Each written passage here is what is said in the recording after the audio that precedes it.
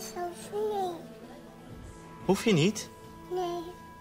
Vind je niet leuk? Hm? Ik dacht, dan kan je die meenemen naar, naar, naar Rick en Shanti. Schat? Hm? Oké. Zal ik hem dan maar zelf houden? Ja.